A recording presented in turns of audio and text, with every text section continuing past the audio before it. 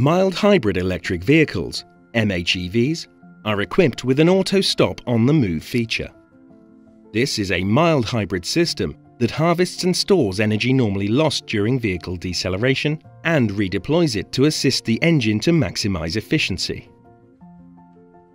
The auto stop on the move feature switches off the engine while the vehicle is moving if the vehicle is traveling at less than approximately 17 km per hour, 10 miles per hour, and the brake pedal is pressed.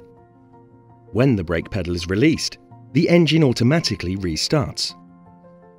Operation of the Auto Stop on the Move feature is indicated by a status icon in the instrument panel. To deactivate the Auto Stop on the Move feature, press the Auto Stop Start button.